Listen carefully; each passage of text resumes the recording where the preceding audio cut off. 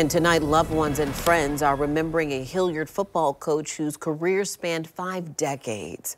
Paul Wittenberg started at Hilliard Middle Senior High School back in 1975. On Thursday, he died after battling health problems. News4JAX reporter Khalil Maycock joins us live. Khalil, you spoke with many people that all described him as someone who cannot be replaced. They did. One person I spoke to says there will never be another like the 72 year old coach Wittenberg. And they say he loved everyone, especially his family, football, but most importantly, he loved his faith. Off and on from 1975 to 2012, Coach Paul Wittenberg helped lead guys in uniforms like this to victory. It happened 200 times.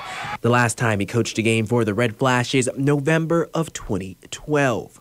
The coach, whose career spanned decades, died Thursday night after battling health problems. I mean, for me, it was it was a sad moment. Hal Keen says, as a former Hilliard football player who was coached by Wittenberg, it's shocking to know that a person who was a father figure to so many is no longer here. He says, as a coach, Wittenberg cared about his players on and off the field. His goal was to make all of us better people. Not everybody wasn't getting to the next level in football, and he knew that. But his biggest concern with us is making sure we, we grew up to be good men, good people, and leaders in our community. Wittenberg leaves behind two sons, his daughter Jamie, and nine grandchildren.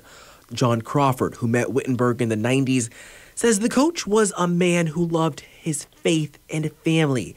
And after interacting with Wittenberg for even a little while, you walked away with more knowledge. And Crawford says what he'll miss is a man who could make the most out of any situation. He can inject humor in the most intense situations and the most important games out on the field. And I think, um, you know, that was his way of being a leader.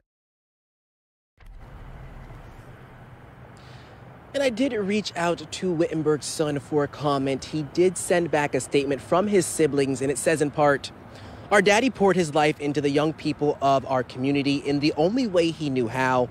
His mantra of toughness and hard work left a lasting impact on the Hilliard and Charlton County communities. Reporting live, Khalil Maycock, Channel 4, the local station.